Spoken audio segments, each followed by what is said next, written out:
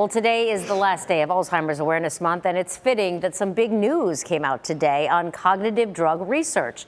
In a phase three clinical trial of the drug lecanemab, 27% of patients showed a slowed rate of decline. And tonight, ABC Action News reporter Jada Williams speaks with local Alzheimer's leaders on why this is so promising, but also potential side effects of the drug as we meet with those affected by this destructive disease.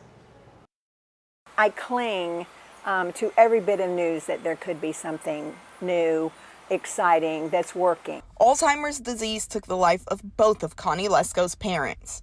That's why she says news of a new drug that could slow the effects of the disease is promising. I'm 72, and so, I mean, you know, things start happening, you start slowing down, you don't remember people's names, so you question, am I having, is this, is this normal, aging? Memory loss. Phase 3 trial results for lecanemab found moderately less decline on measures of cognition and function after 18 months. Those findings are promising to Florida Alzheimer's Association Senior Program Manager Stephanie Wardlow. The treatment slowed the progression of the disease by 27%. Um, these results show that lecanemab will provide patients more time to participate in daily life and live more independently. It could mean many more months. But it's not all good news with the drug.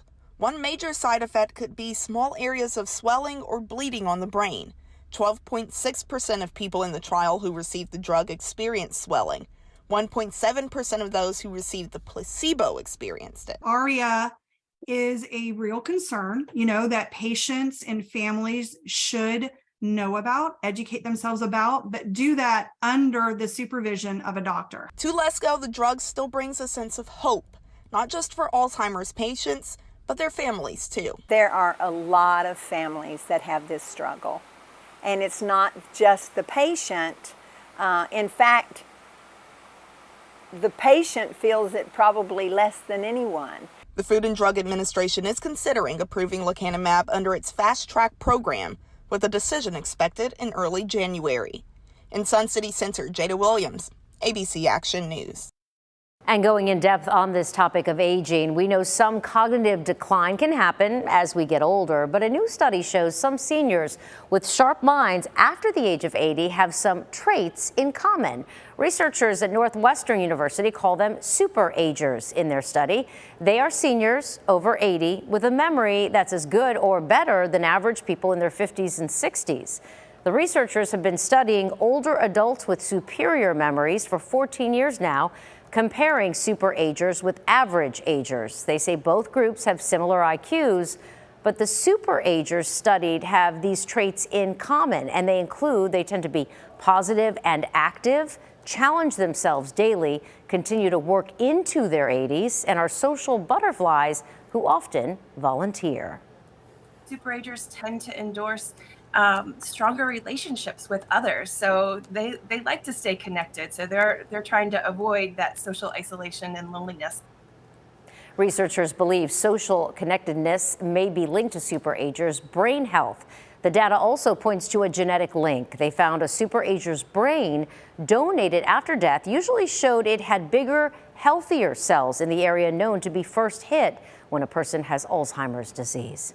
And if you are not a superager, how do you spot early Alzheimer's signs? Well, Medicare experts suggest that just getting a baseline cognitive test, and that's just a memory test, no poking or prodding, and it's usually free online or at a clinic.